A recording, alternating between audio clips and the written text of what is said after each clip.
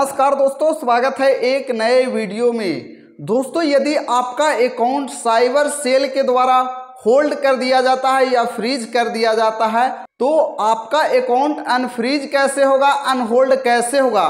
क्या आपको ब्रांच में जाने से आपका अकाउंट अनफ्रीज हो जाएगा या अनहोल्ड हो जाएगा? या नहीं, पूरा डिटेल इस वीडियो में बात करेंगे कि आखिर अनफ्रीज करवाने के लिए आपको कहाँ जाना पड़ेगा और क्या प्रोसेस करना होगा।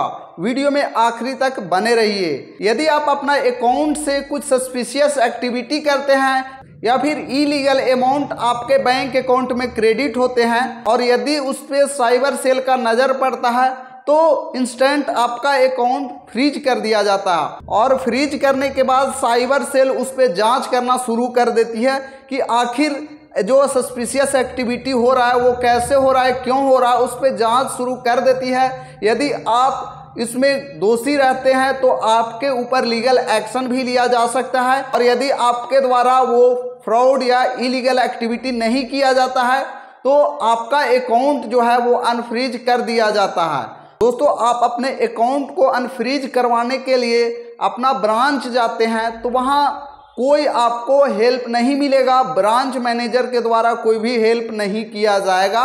वो साफ़ बोलेंगे कि ये मेरे अंडर में नहीं है।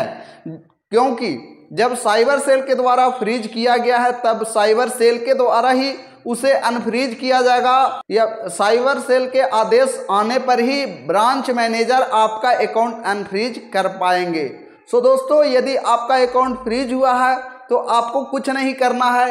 यदि ज़्यादा ज़रूरी है तो आप साइबर सेल को मेल कर सकते हैं कि आपके साथ ऐसा ऐसा हुआ है। इससे होगा कि जो जो भी जाँच चल रहा है, उसमें तेज़ी लाया जाएगा और आपका अकाउंट जल्द ही अनफ्रीज कर दिया जाएगा। वीडियो पसंद आएगा तो वीडियो को लाइक कर दीजिए। चैनल पे पहली बार आए हैं तो सब्सक्राइब करके बेल आइकन प्रेस कर लीजिए। Thank you